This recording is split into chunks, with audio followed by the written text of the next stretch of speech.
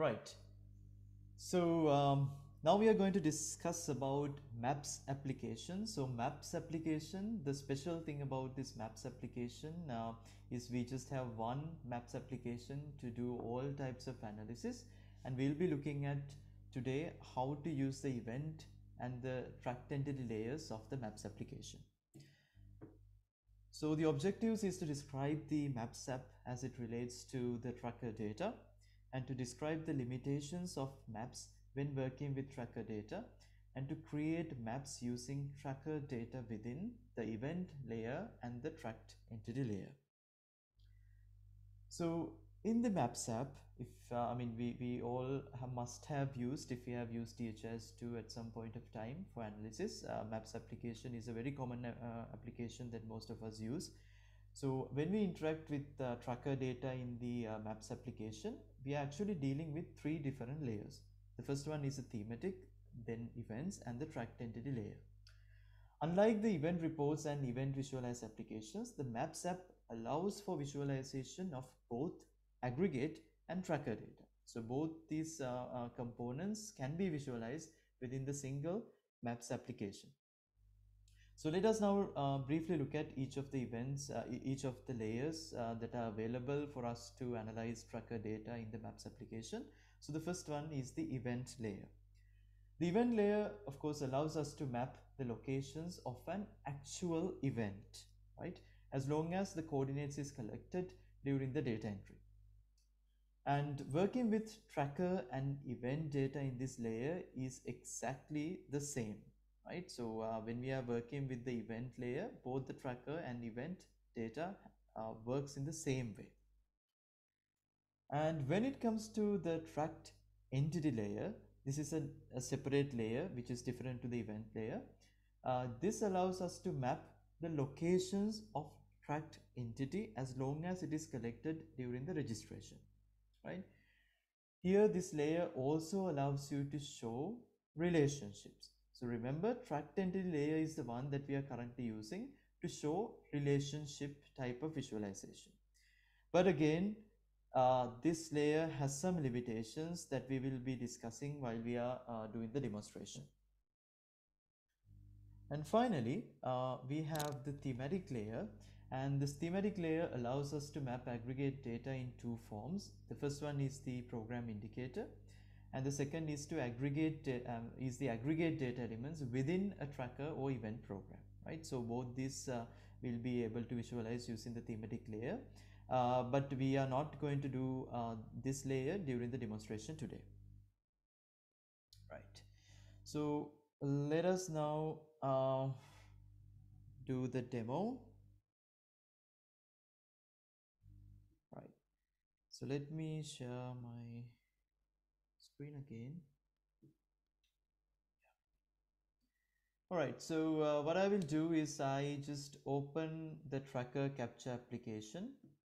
You click on apps and then go to the tracker capture, not the maps. Don't ask me why. I will show you uh, why, why, why I want to show tracker capture first because I want to show you where we are capturing these coordinates because it is quite important uh, to notice where we are capturing the coordinates for us to really understand what will be displayed when.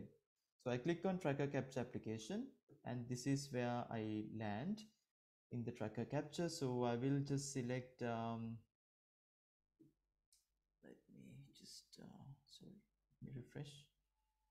Okay, I have logged out.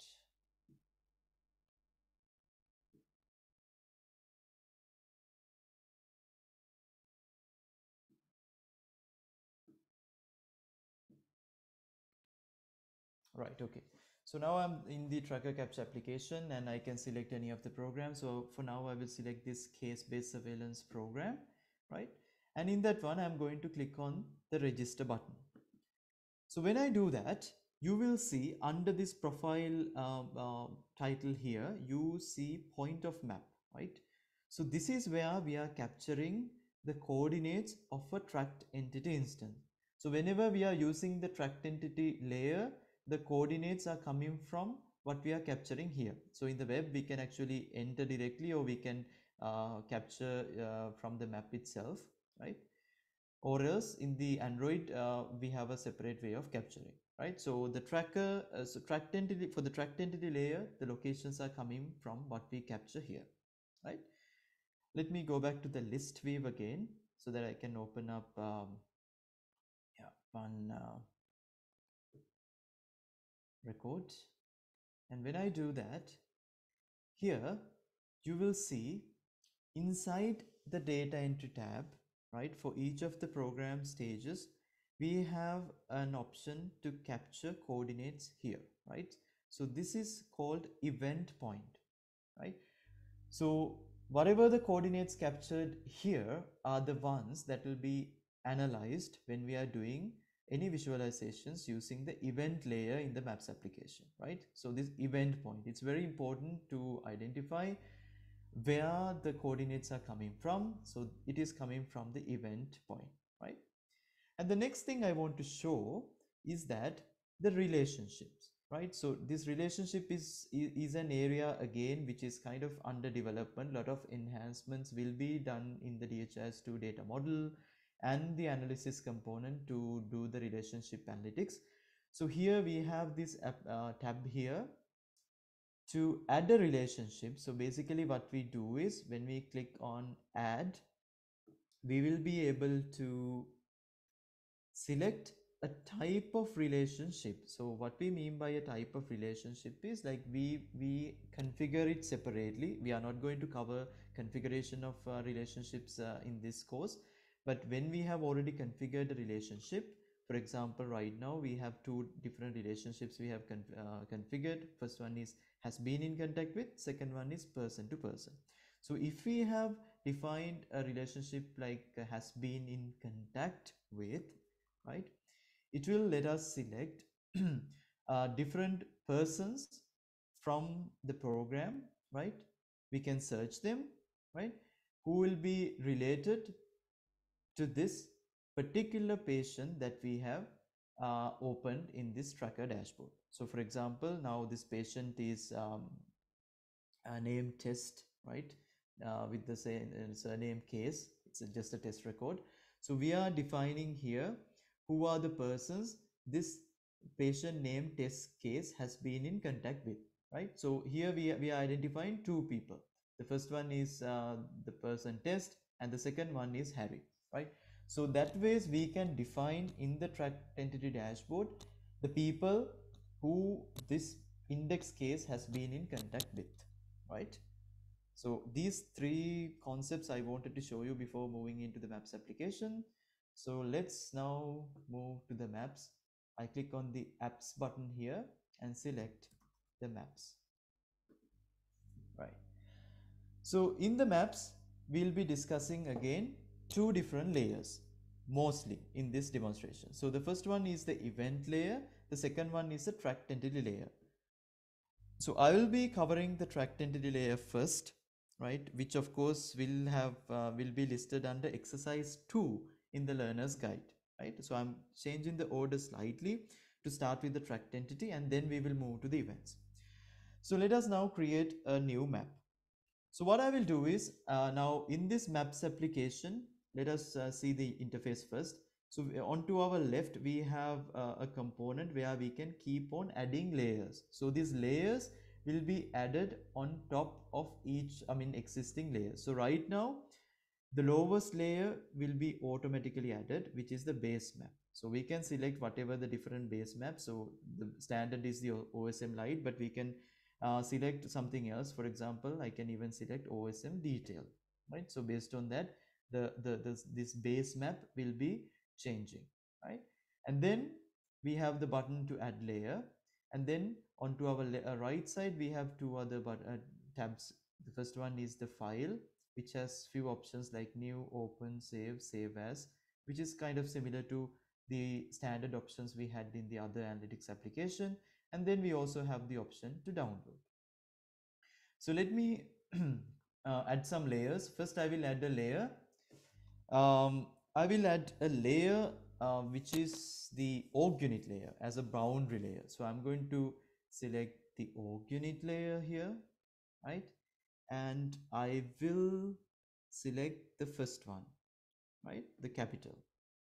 and once I have done that I click on add layer and what it will simply do is to add a boundary right organization unit right? You don't see anything here other than defining the boundary. Okay? Right. So this is not really a, a tracker or event analytics yet but next i'm actually going to add a tracked entity layer to demonstrate this first, first concept. So what i'm going to do is to click on add layer and here I will select tracked entities right this one. And then it will ask me to select the tracked entity type. So in the system we currently have only one tracked entity type defined which is the person. I select that. And it is asking select the program. So I'm going to select the program. We have three programs. Out of them I'm going to select the case-based surveillance program right? And then now now see the interesting thing here right? So it is not asking us um, to select the program stages right?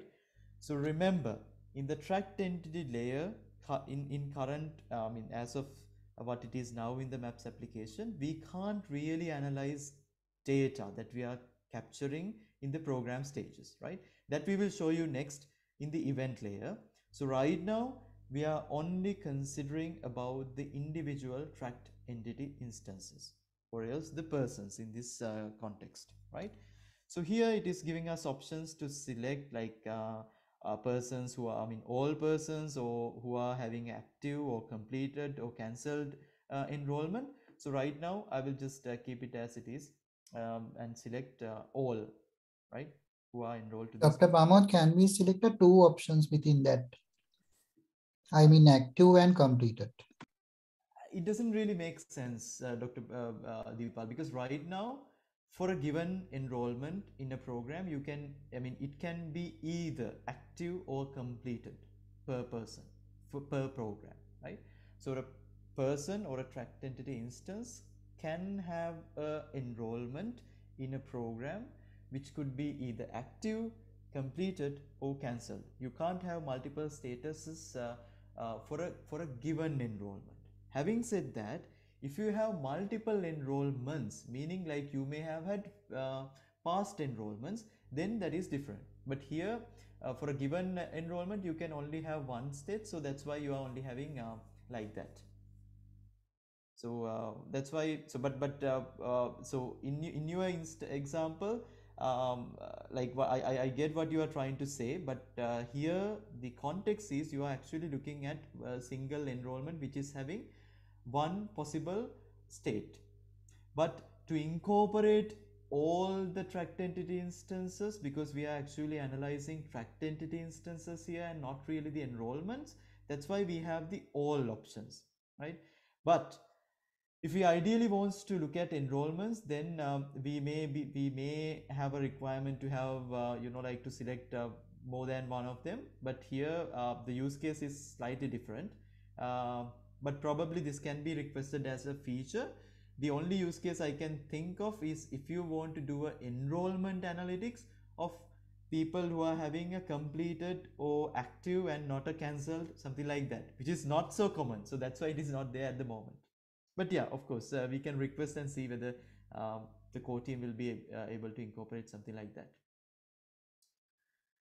Right uh, okay. So that's all what we can define in the data parameter and then the next thing is relationships so again the big box warning this is currently an experimental feature because i mean a uh, lot of improvements to the relationship analytics is being discussed right now which is not really there so here it is giving us the option to display the tracked entity relationships, right? So uh, it will list out all the possible tracked entity relationships that which are there. So right now, what we have here uh, are two like has been in contact with and person to person. So I will select the first one has been in contact with, right? And then the period so the period of course uh, we can select like uh, we can of course select a uh, period when tracked entities were last updated or the program enrollment date so i will um, what i will actually do is i will change the start date probably to um, 2022 January 1st. Yeah, and end date I will keep it as it is. And for the org units, we can select where we are displaying. So for this example, I will take this um, particular org unit here, right? And then of course we have another parameter called uh, style. I'm not going to touch that, but just uh, we can look at what is here. So it will be showing tracked entities in the color uh, with the color red, right? And when it comes to the relationships, the related entities will be shown with black color and the line connecting the index or the tracked entity that we are discussing now to the related entity will be highlighted in blue color, right? Okay, so let us click on add layer and see what we get, right? We do that and this is what we see. So we have our first layer. Now, can you see it is like we are adding uh, on to existing layers. I'm focusing on the left side. So we have the base map here and then we have the org unit, the boundary layer, what you are seeing here. And then on top of that, we have the tracked entity layer. In the tracked entity layer, what we are seeing is the these uh, red ones. So I can just uh, click here, see like this is uh, one case that we have here, right? and these tracked entity instances are connected in these blue lines to the related tracked entity instances, right? So for example, all these highlighted in black are the related ones. So here we are only showing tracked entity instances. We haven't really discussed about the data. So um, now there are few drawbacks um, as of the current i mean as of the current status of the app for example we can only create relationships and visualize entities within a single program so supposedly like if we have two programs one tracking one registering all the covid patients and then we have a separate program for contact uh, mapping and visualization the the the um, uh, yeah the mapping process and the contact tracing then we can't kind of create this uh, link between these two tracked entities right? So that's one limitation major limitation which is currently there uh, in this app right? And also um, we are not able to visualize any data right? So this is only within the scope of tracked entities that we can uh, do this visualization right? So these are some limitations of this uh, current application. And uh, so as I mentioned before, relationship analytics is a major thing that is currently being discussed. So probably we can expect more and more features being added to the relationship application uh, to the to the relationships concept as well as the maps application in time to come right? All right so this is about the tracked entity layer. So uh, please uh, go to the maps uh, section in moodle and uh, download the learner's guide and please do the exercise two not one. The one is the, the event layer which will be covering next but uh, you can do the um, exercise in the uh, exercise two in the learner's guide so uh, probably we will give you around 10 minutes and then uh, we will be coming back to start the events layer